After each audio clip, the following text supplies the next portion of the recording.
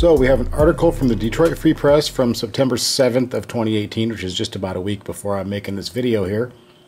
Um, the D Detroit Free Press, which is uh, Detroit's main newspaper there, and uh, Detroit being the uh, at least the American United States uh, automotive center. Um, interesting little article, and it says uh, it's talking about the uh, the slip in sales for iconic American cars, and it's going to talk about the Challenger, Charger, Mustang, and Camaro. And it asks if millennials are to blame. I say yes. Let's blame the millennials for everything. No, just kidding. Um, you know, I think with the Camaro, Mustang, Challenger, and Charger, um, if you want to get up into the higher horsepower versions of those cars, you're looking at an awful lot of money just to get in at all, like 40 grand for a new one, um, you know, just to get up into the higher horsepower range on those models. And um, I think for a lot of millennials, that's you know, they're not in that upper income bracket yet, not upper income bracket, but in that, in making those kind of incomes that can justify them spending that kind of money on a car. For a lot of them, not all of them, I'm sure some of you guys out there are millennials that can afford these cars, and that's cool. But for I think for a lot of them, they might like these cars a lot. They might uh, really want one, but uh, the price range is just a little, maybe a little bit out of their reach as of yet. I think if these cars can stick around and keep their sales somewhat reasonable, a lot of the guys, younger guys now who want one, will be able to get one in the future in a, in a pretty short period of time here. Now it says uh, U.S. auto sales numbers for August appeared to be almost shocking for a couple of iconic cars. The Dodge Challenger, which is down 26% from August 2017, and the Dodge Charger, which is down 45% from August of 17. It asks, uh, could the end really be at hand for the American muscle car and are millennials to blame? I say yes. Let's blame the millennials for everything there are a couple pictures on this article, and it's people standing around these cars at car shows. And uh, if you look in the people that are standing around and admiring the car, a lot of them look like millennials to me. So I don't think they've lost interest in these cars.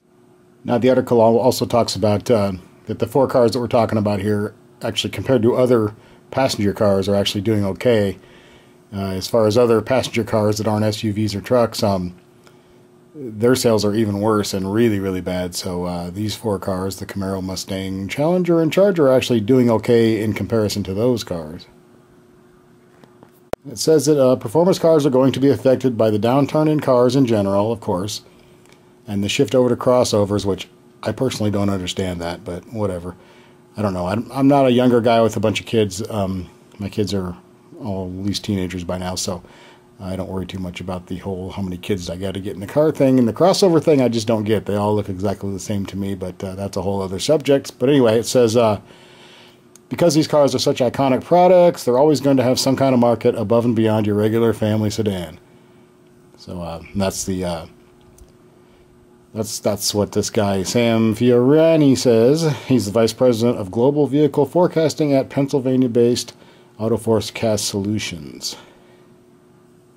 He says these will be the last cars to go as we shift towards SUVs and trucks. Sedans will go, but these will be the last of a dying breed. The article goes on to say that a one month snapshot for any given vehicle is not a very complete picture and it fails to account for a lot of other factors. And, uh, you know, that those uh, sales drops over this time a year ago doesn't show the entire picture it says that uh, Fiat Chrysler's Steve Beahm, who oversees Dodge and other passenger car brands in North America, he's talking about the Challenger and the Charger, and uh, it goes on down here for him talking about uh, that he's not worried and he's not sitting in his office crying about, hey, I don't have any customers. He's actually pretty happy with the performance the Dodge had in general this calendar year, he says. So uh, that sounds good at least. He doesn't sound too uh, pessimistic. And then this Beahm guy from uh, Chrysler also he noted the uh, popularity of the recent Roadkill Nights powered by Dodge, which drew 44,000 people to the M1 concourse in uh, Pontiac, Michigan, and that was the weekend prior to the Woodward Dream Cruise. So that drew a lot of people, and uh, you know, so that's a good sign too. And a lot of those were millennials. So, and then I agree with this guy, John McElroy. He's the uh, auto industry host of Autoline, and he said that Fiat Chrysler in particular has employed a brilliant strategy regarding its muscle cars. The Charger was reintroduced in 2006, the Challenger in 2009, but he said that they've added enough spice through the special horsepower offerings and all the other things that they've done with the Hellcat, the Demon, and all the uh, special different versions of the vehicles that uh, they've kept themselves relevant and they're continuing to sell cars. And, uh, you know, kind of what I've always said, they've had a pretty brilliant um, strategy with these cars. They haven't changed them a whole lot, but they've uh, they've kept them in the news. They've kept them exciting, and they kept them in the forefront of people's minds when they think of these kind of cars, even though they haven't really come out with an all new car in a while. And the same guy also talks about how any car, after it's been out for a while, the sales drop off year after year until they come out with a new version of it, and that's just this is pretty normal, and, and not something that's uh, unusual in any way. They need to uh, need to get a new car out in the next few years because they can't just keep doing this forever. But that it's normal, and they are doing a good job of uh, keeping it, uh, like I said, keeping it interesting. So even without the new model also goes on to say that General Motors no longer releases monthly sales numbers, but they said the Camaro was down more than 30% through June. Um, it said Mustang had a good August, up 35% compared to the prior year, so Mustang's doing pretty well. Anyway, it just goes on basically to say, you know, they don't think anybody's in trouble, they don't think any of these cars are necessarily going away, but, uh, you know, just uh, there's just some issues, and it's not a big deal. These cars are going to, like they said, these will be the last cars to go away because they kind of fill a special niche there.